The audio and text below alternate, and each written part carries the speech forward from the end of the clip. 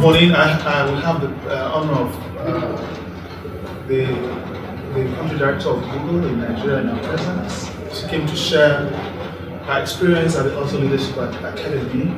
Juliet Ehimuan, welcome. Thank you. Uh, please tell us a little bit about yourself. I'm Juliet Ehimuan Chiazor. I, uh, I'm the country director for Google in Nigeria.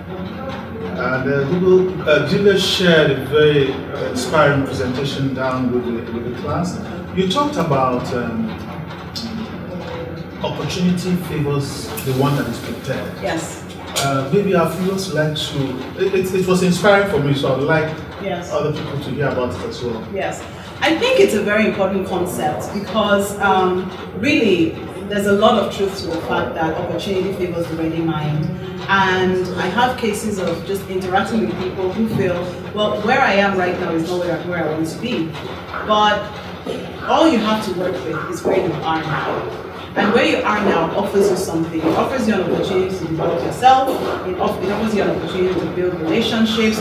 It offers you an opportunity to show what your work, right? So that, and you never know who's watching, either internally, if you're within an organization, or even externally. You never know what who's watching. Um, but if you apply yourself in that way, then when the opportunity comes for something better, something that is probably more in line with where you really see yourself, then you'll be an obvious candidate for that.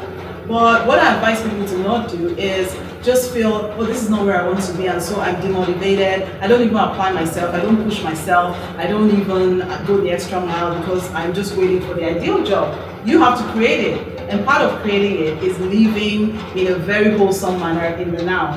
One thing that you seem passionate about is this concept of vision. You, you made yes. a statement about what is worse than being blind is being able to see and not having a vision. Yes. And it seems as if played a part in where you, you, you, you, what you have achieved.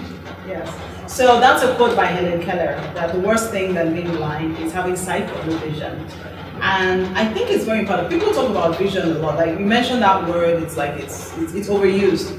But actually, not everyone really imbibes that. And I think it's very important on a personal level and also at an organizational level to have clarity around what do I want for my life so, you know, personally, every year and, and, and sometimes at different points in the, in the, year, I actually create a vision for myself. Like, what do I want to achieve? Where do I see myself going in different aspects of my life? Life is multifaceted. So, you know, it could be a vision around family, it could be a vision around health and fitness, it could be a vision about around work, it could be a vision about, uh, you know, different finances, you know, different things. So, but it's great because it sets the direction for your life it helps you to know how to prioritize your time. We talk about time management. At the end of the day, um, everyone has the same length of time. We can't really do anything about that. We all have 24 hours every day. What you can control is how you prioritize what you do with that time. And, that's, and that can be powerful if it's informed by your vision. And so it's important that we know exactly what we're trying to work towards so that we can apply ourselves and our time uh, accordingly. So the, on, on, that priority, I mean, you're very busy. Everybody wants uh, to see you. Everybody is interested in doing something with Google, can do all. And yet you still found time to come to the Ausso Leadership Academy to share your experience. What's the motivation for accepting to be a champion? So I think, I think above everything else, actually, our um, our personal skills as human beings are very important. I love conversations like this around leadership, around personal effectiveness, around sharing life stories, because we're human beings, right? And everyone is striving to have a better life. And these conversations in some ways inspire, encourage, challenge, etc. to be better. And so I love the charter of the of the academy. I think it's great.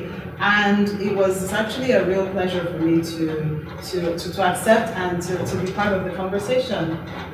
Well, thank you very much. So what was your experience of the ambience of the class? What's your general experience of the Ausso Leadership Academy? I think the so far it's been positive. Um, think started on time, which was great. and uh, uh, the audience was very engaged. They um, you know, asked questions. I, I, we had a, a, a good uh, um, a discussion back and forth. So it's been a positive experience so far, and I like the ambience of the place. So you've been uh, internationally everywhere, London's, uh, London Business, Business School. School.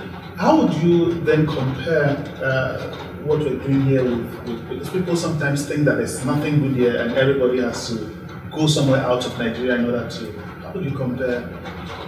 Oh no, I wouldn't agree with that. I think um, wherever you find yourself, it's really up to you to make the best out of it.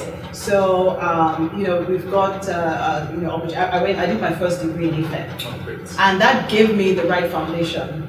That gave me just rigorous uh, learning, discipline that actually I applied for the rest of my life. So that was a great foundation. So I think um, I, I, I, wouldn't subscribe to the fact that, oh, you've got to, um, you know, a, a, school outside the country for you to be able to. Yes, we have challenges with our educational system, that's true. But, you know, in today's world, actually, you know, you can, act, you can supplement a lot of your learning with online tools right? And so, you're just going online to, to watch how-to videos, webinars, seminars, and so on and so forth, uh, you can really augment your learning. And so I think it's a, it's a question of wherever you find yourself, make the best of it because then you'll be able to tap into uh, the opportunity that is uh, around the corner.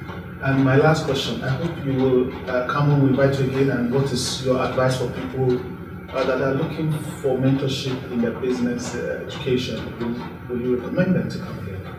Yes, I think um, I think this uh, I think it's a positive experience, good conversation, opportunity to also meet colleagues. I think yes, we can really uh, provide opportunities for growth. Thank you indeed, um, Juliet. It was a pleasure having you. It's been a pleasure. Thank you. Thank you.